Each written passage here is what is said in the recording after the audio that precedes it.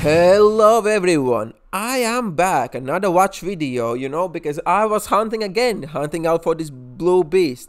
I mean, it just happened. My mate gave me a call. He said, Come on, dude, come down. Let's see what happens. Maybe we're gonna get it, maybe not. And I was thinking, you know what? It's been like five, six months since I was really, really disappointed. And who else than Swatch? I mean, who else can really mess your day about? Uh, really piss you off, really grind your gears, you know? And I thought, you know, it's been five months since some really big disappointment. And you know what? Swatch mission to eBay, they never fail to the disappoint, guys. And what can I say? What experience it was. It was great. It was first class, guys. So let's dive all into it. So yeah, guys, I'm here right now. Not too bad. Three stops.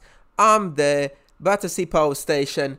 Um, I'm speaking with my mate, and my mate's like, you know what? It's not too bad. It's not too bad. He's like, yeah, there's some people, but I would say there's about 250 people. It's about 7:20 in the morning. I'm like, cool, cool. I gonna be there.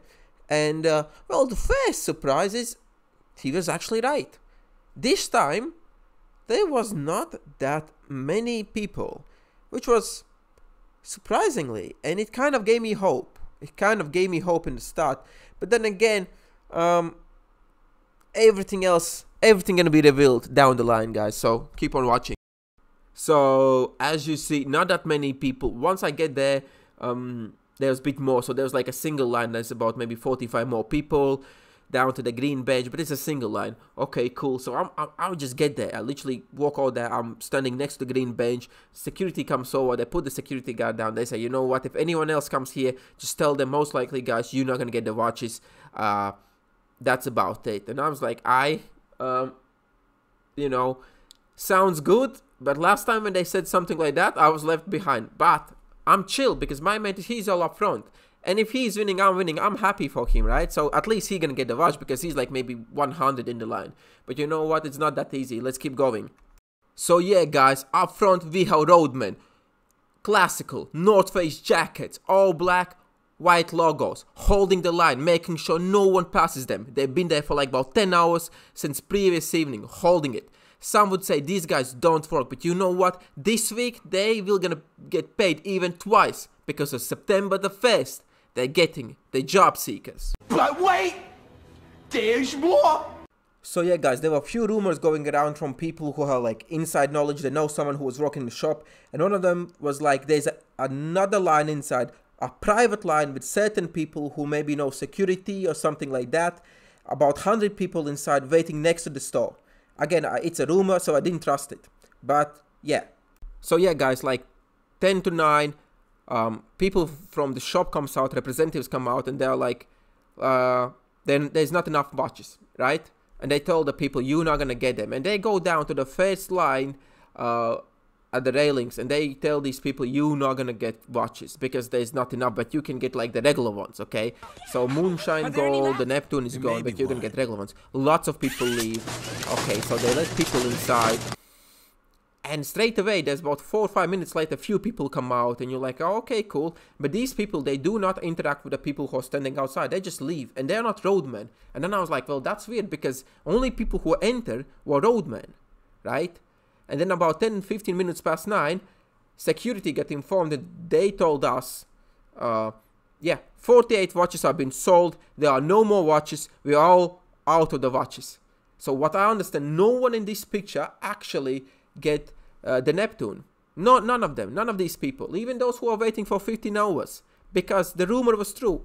There was another secret line inside the store with the people waiting for the watches. This one was literally like a public line, okay?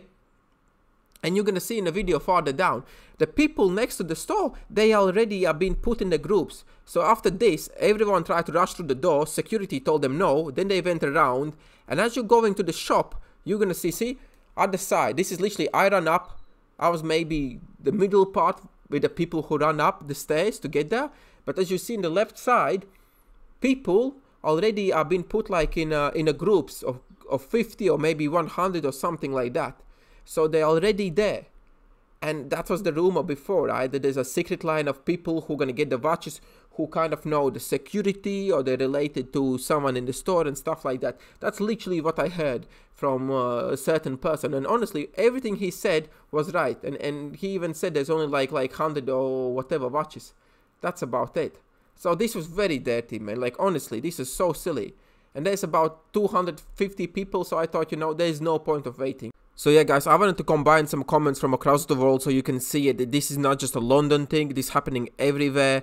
Uh, what people are saying, this is just absolute, you know, nonsense. I don't want to swear and stuff like that. But yeah, this is like just playing very dirty. And you can see even less and less people are going there. Like in Malaysia, they just closed the store.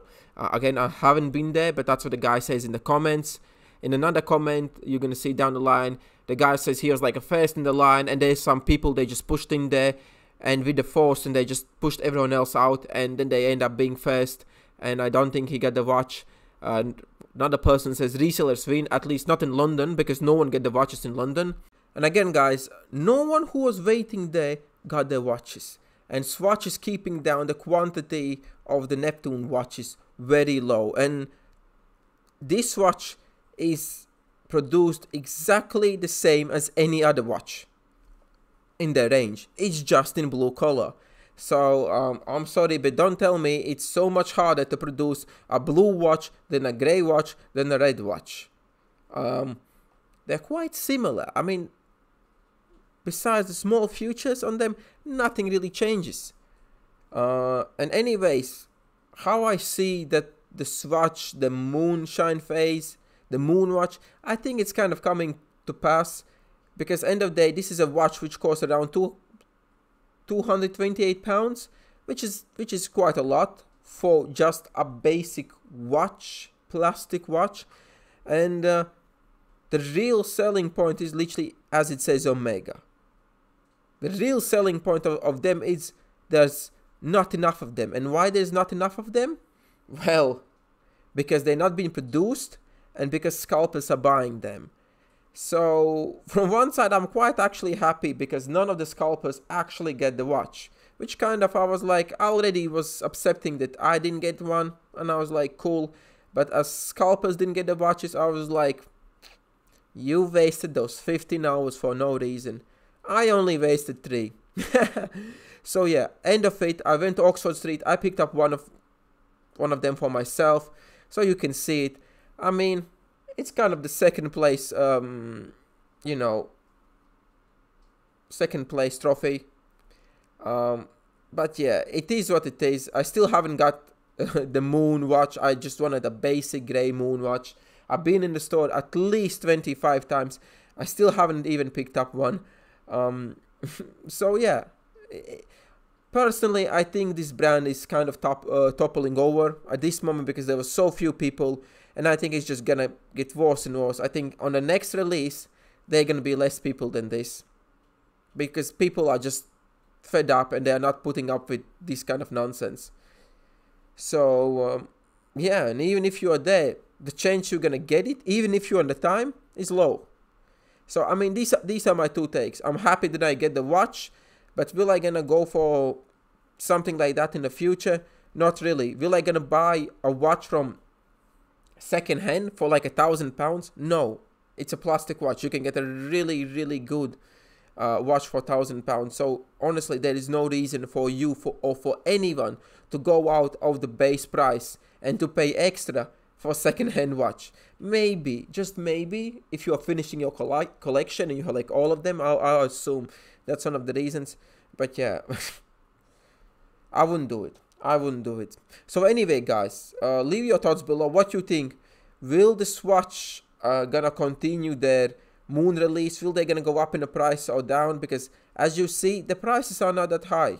You know, you saw in the pictures, the prices are not that high. People are not buying them online. I think they kind of done. People are fed up and the brand is just toppling over. That's just my opinion. Leave your opinion below and uh, let's make conversation and have a good one. Mr. Zazs out.